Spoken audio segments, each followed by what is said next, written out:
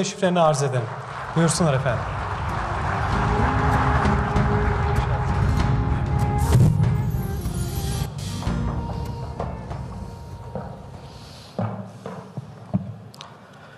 Sevgili dostlarım, Saadet Partisi'nin Sayın Genel Başkanım, siyasi partilerimizin değerli genel başkanları ve temsilcilerim, sayın milletvekili arkadaşlarım ve siz değerli konuklar, bizleri izleyen, haber yapan değerli basın emekçilerimiz ve ekranları başında bizi izleyen sevgili kardeşlerim. Merhum Necmettin Erbakan'ın aramızdan ayrılışının 10. yıl dönümünde onun anısına düzenlenmiş bu toplantıda sizlere hitap etmenin memnuniyetini yaşıyor. Herkese sevgi ve saygılarımı sunuyorum. Yaşanabilir bir Türkiye başlığıyla düzenlenen bu buluşmanın ülkemizin barışına ve kardeşliğine önemli katkılar yapacağına yürekten inanıyorum. Toplantının ev sahibi olan Saadet Partisi ailesine şükranlarımı iletiyorum. Sevgili dostlarım, bir cumhuriyet çocuğu olan Profesör merhum Necmettin Erbakan, destekçilerinin ve karşıtlarının da Erbakan hocası olarak yaşamını sürdürdü. Onun hocalığı sadece bir akademik ünvan değildi. Onun hocalığı üniversite kürsülerine sıkışmış bir akademisyen, öğrenci ilişkisi de değildi. Onun hocalığı aynı zamanda ömrünü verdiği bir siyasi hareketin siz değerli mensuplarını vatan, millet ve bayrak sevgisiyle bir araya getirmiş milli bir görüşün hocalığıydı. Onun hocalığı Milli Nizam Partisi'nden Milli Selamet Partisi'ne ve 12 Eylül sonrasında sırasıyla Refah, Fazilet ve Saadet Partisi'ne kadar uzanan bir kararlılığın hocasıydı. Sevgili dostlarım, yaşanabilir bir Türkiye, Nazım Hikmet'in dizelerinde de karşılığını bulmuş ortak özlemimizin bir ifadesidir. Yaşamak bir ağaç gibi tek ve bir orman gibi kardeşçesine. Her birimiz bir ağaç gibi tek ve hür olacağız ama bir orman gibi kardeşçe yaşayacağız. Peki bunu nasıl sağlayacağız? Yaşanabilir bir Türkiye yaratabilmenin en önemli şartı şudur. Kimseyi kendimize benzetmeye çalışmayacağız. Birilerinin de bizleri kendisine benzetmek istemesine karşı duracağız. Farklı olacağız ancak birlikte olacağız.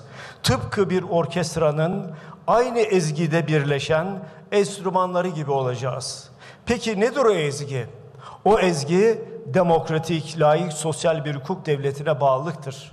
O ezgi kuvvetler ayrılığının gerekliliğine inanmaktır. O ezgi düşünce ve ifade özgürlüğünü, din ve vicdan özgürlüğünü, medya özgürlüğünü, insan haklarını ama ancak fakat lakin ile başlayan bir cümle kurmaksızın kayıtsız şartsız savunmaktır. O ezgi yatağa tek bir çocuğun dahi aç girmeyeceği bir Türkiye için çalışmaktır.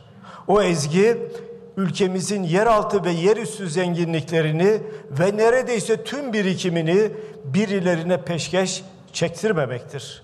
O ezgi herkes için ve her alanda haktır, hukuktur, adalettir. O ezgi herkes için aş, herkes için iş diyerek yola çıkmaktır.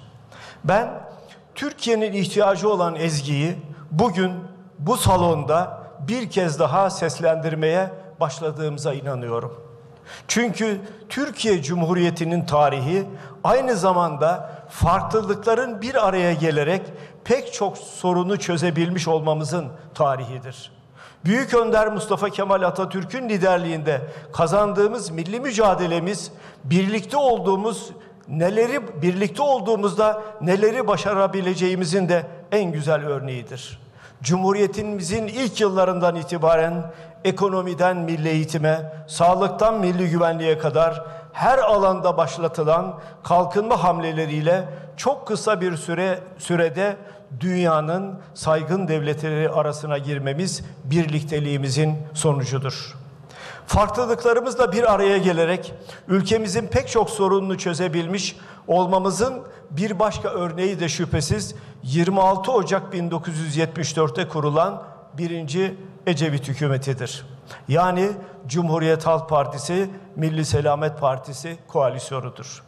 11 aylık kısa ömrüne rağmen bu koalisyon hükümeti Türkiye ve bölgenin geleceği açısından tarihi adımlar atmayı başarmıştır.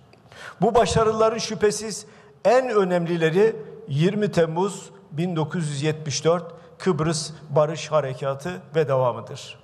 Bu harekat Kuzey Kıbrıs Türk Cumhuriyeti'nin temellerini atmıştır. Ve bugün mavi vatandan söz ediyorsak bu Ecevit ve Erbakan'ın sayesindedir. Bu koalisyonun Kıbrıs Barış Harekatı ile Haşhaş hekiminin serbest bırakılması da dahil tarihi nitelikteki pek çok icraatı kadar önemli bir başka niteliği daha var. Bu nitelik farklı siyasi geleneklere sahip iki siyasi partinin hangi ilkeler çerçevesinde bir araya geleceğini göstermiş olmasıdır. Cumhuriyet Halk Partisi, Milli Selamet Partisi protokolünün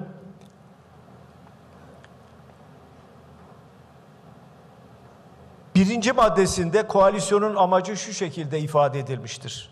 Milli, demokratik, laik ve sosyal bir hukuk devleti ilkesine yürekten inanan, hukukun üstünlüğüne, demokratik hak ve hürriyetlere saygılı, Cumhuriyet Halk Partisi ve Milli Selamet Partisi'nin ortak gayesi, kanunları herkesi eşit olarak uygulayan, Atatürk ilkelerine bağlı bir devlet iradesiyle anlayış, kardeşlik ve sosyal adalete dayanan bir toplum düzeninin kurulmasıdır.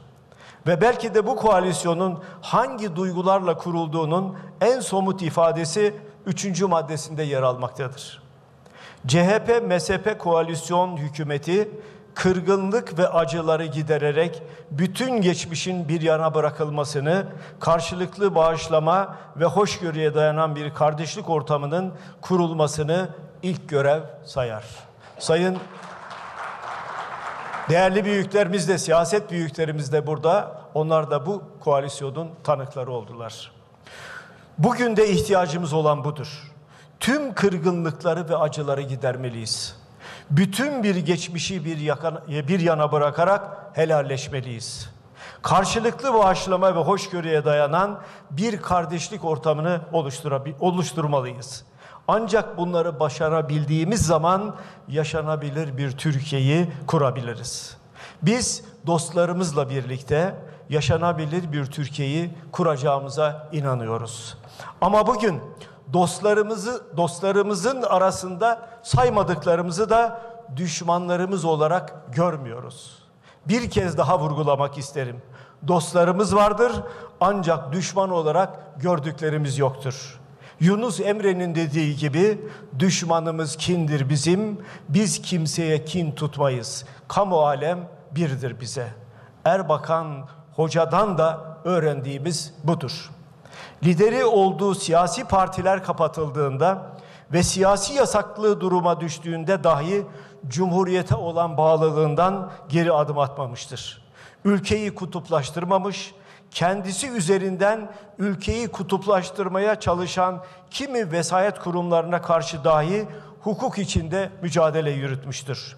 Kendisi gibi düşünmeyene karşı her zaman kendisi gibi düşünmeyene karşı her zaman saygılı olmuştur. Ancak haksızlık karşısında da asla susmamıştır. Sevgili dostlarım, ülkemizin içinde bulunduğu temel sorunların çözümünün ekonomik buhrandan çıkabilmemizin bir tek yolu vardır. Daha fazla demokrasi.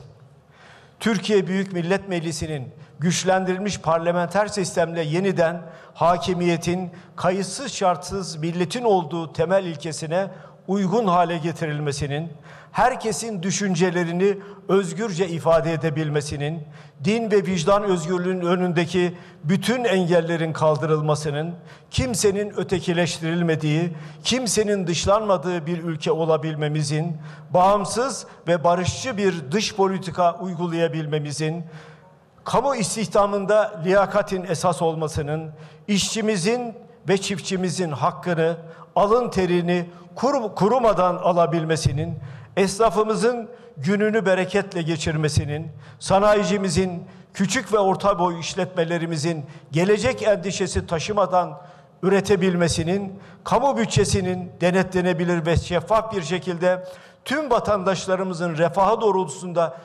kullanılabilmesinin, terörün kalıcı olarak gündemden çıkarılmasının yegane yolu daha fazla demokrasidir.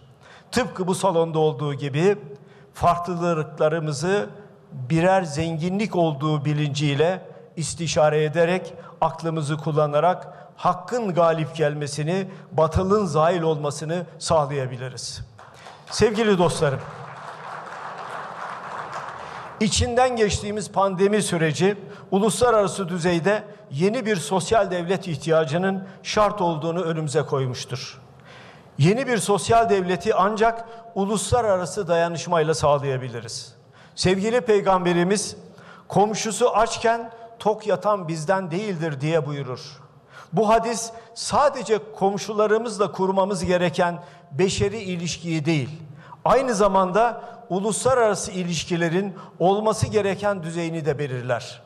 Egemen güçlerin zenginliklerinden fedakarlık yapmaları bir zorunluluktur.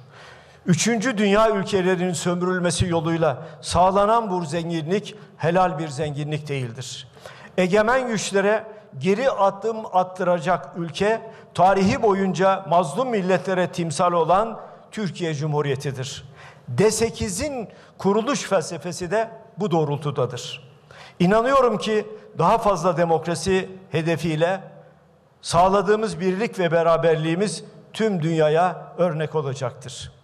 Dünyevi hırslarımızdan arınarak çatışmayı, kutuplaştırıcı dili, sadece ben diyen anlayışı ülkemizin gündeminden söküp atacağız. Kimsenin şüphesi olmasın. Kimse umutsuzluğa kapılmasın. Sevgili dostlarım, merhum Erbakan'ın bir cumhuriyet evladı olduğunu söylemiştim.